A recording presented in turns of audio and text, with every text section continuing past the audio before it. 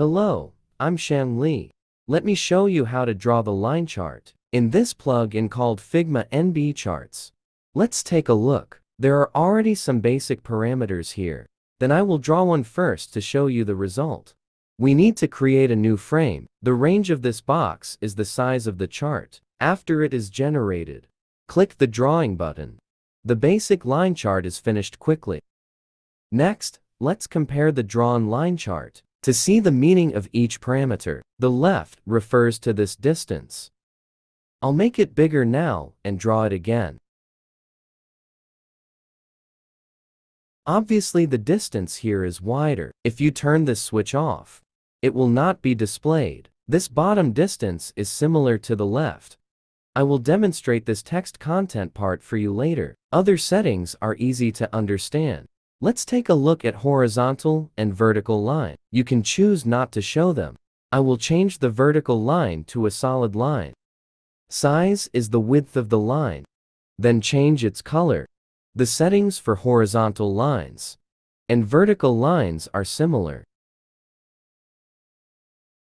Click the drawing button. It can be seen that both the horizontal and vertical lines have changed accordingly. The horizontal line is still a dotted line, and the vertical line has become a solid line. Here you can set the color transparency of the line and set the number of horizontal lines. The number of vertical lines is automatically adapted. Next is the data setting part. The data range is currently 0 minus 100. The text on the dots is not displayed by default. We can turn on this switch and see what it looks like. Make the font size bigger and change it to a more conspicuous color. Okay, the value is already displayed on the small dot. Next I will focus on data input. Data can be filled in manually or generated randomly. Let me first demonstrate filling in manually. Each value must be separated by a comma. Now input some data values.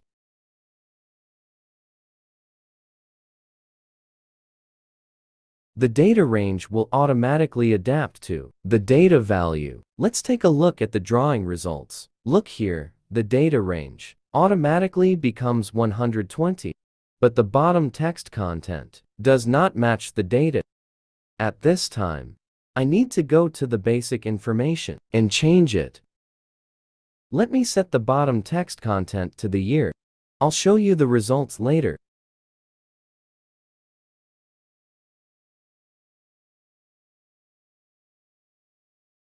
Let's go back to the data settings. This time, we will draw a smooth curve. Let's take a look at this diagram first. Then I set the bending to 40% and tried it. The results are out. The line of this line chart is relatively smooth. Please note that the text below also matches the numerical value above. Next, let's take a look at how to set up lines, area charts, and marked dots under the data. By the way, I have to restore the bending. Line width and color are easier to understand. What does this refer to? It refers to the style of the turning point of the polyline. In order to see it more clearly, I made the line width thicker and turned off the point. The turning point is now smooth. I now switch to right angles and change the color of the line. Draw it again. In comparison, the difference is obvious. Next is the area. If the area is not displayed, there will be only polylines. This is the result. I turn it back on, set its color, and demonstrate the use of the color palette. Click the small dot on the right to set the gradient color.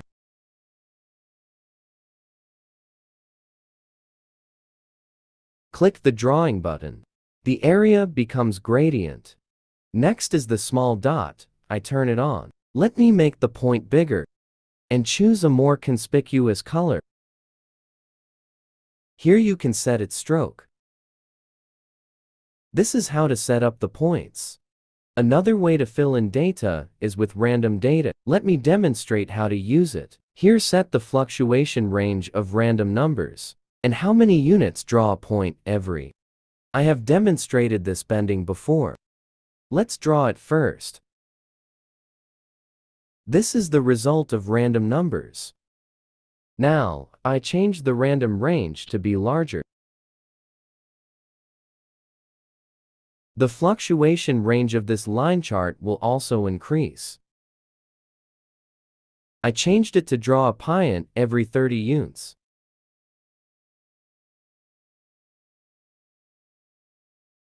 The dots become less dense.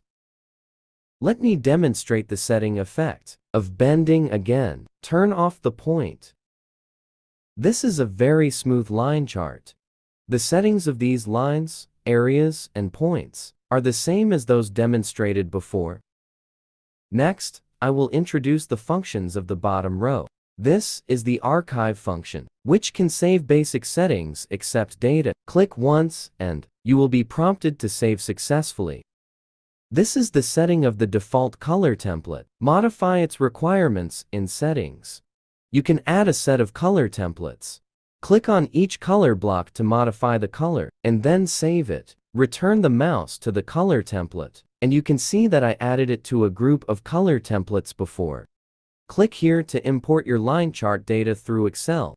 This is an auxiliary function for random data. Set here how many random numbers points you need for each group of data. This is also an auxiliary function for random numbers. It can set the trend of random numbers. There are several trends to choose from. I chose basin to try. Okay, the trend of the basin of this line chart is obvious.